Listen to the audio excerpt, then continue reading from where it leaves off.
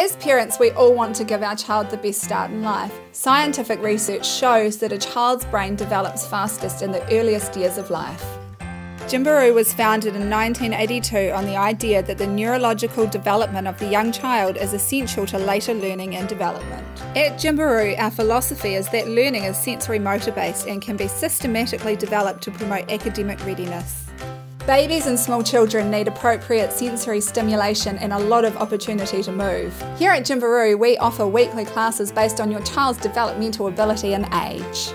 We aim to give children a fun session to help them gain confidence and self esteem and to develop and refine skills essential for a healthy brain.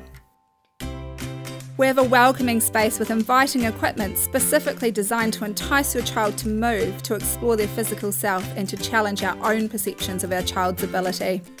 Development happens in an order and is based on a child's experiences, so we base our weekly classes around a movement theme to encourage your child to master new skills before moving to the next natural stage.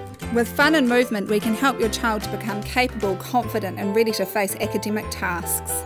Our small class sizes ensure that we can support and assist you to understand the role all sensory experiences, repetition, and a predictable routine can help with your child's social, academic, and physical well-being.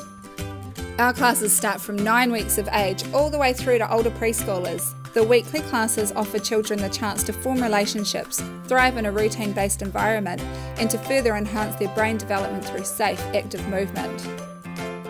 It is a lovely way to spend some one on one time with your child or grandchild and to see the world through their eyes.